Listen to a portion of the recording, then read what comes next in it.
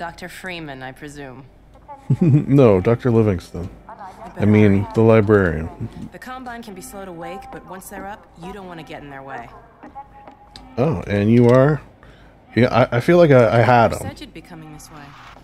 I, I feel like I did have him but I do appreciate it.